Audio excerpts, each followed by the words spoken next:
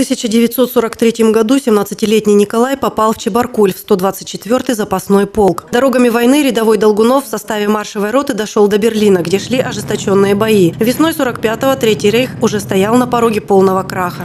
Подошли к Берлину, а там у них укрепление большое было. Там невозможно было. Ну и потом мы ткнулись, приехали, а там у них зоты настроены. Ура!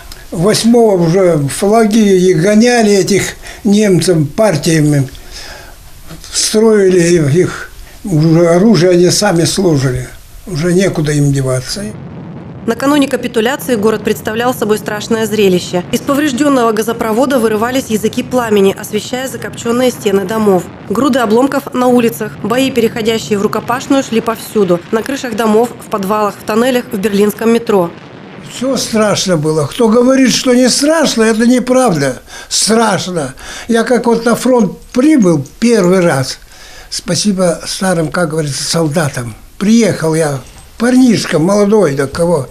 Берлинская операция – одна из крупнейших во Второй мировой войне. Победа в ней стала решающим фактором в завершении военного разгрома Германии. После падения Берлина, утратив жизненно важные районы, Германия потеряла возможность к организованному сопротивлению и вскоре капитулировала. 9 мая ветеран помнит, как вчера. Собирались у нас, как было, было около Ареста, митинг был, делали комендатуру. Тогда сам этот Берлин уже разделили.